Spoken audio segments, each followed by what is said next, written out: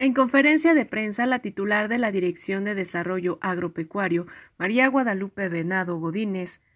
Habló sobre el programa de equipamiento tecnológico para el campo, el cual tiene como objetivo el facilitar la compra de herramientas de trabajo a un menor costo y con facilidades de pago. El programa de equipamiento tecnológico para el campo tiene un subsidio que fue gestionado por la presidenta municipal Tatiana Ángeles Moreno, el cual entrará en vigor todo el mes de febrero. Los interesados deberán acudir a las oficinas de desarrollo agropecuario para solicitar el apoyo. Venado Godínez también mencionó que para el beneficio del campo, las actividades y el impulso a la ganadería son de las primordiales actividades que se realizan dentro del área, siendo un compromiso del gobierno municipal de la Cuarta Transformación. Es importante mencionar que la Dirección de Desarrollo Agropecuario de igual forma lleva entre sus proyectos el Tianguis Orgánico, el cual se instala todos los domingos a partir de las 9 horas y tiene la finalidad de proveer de un espacio para los productores orgánicos del municipio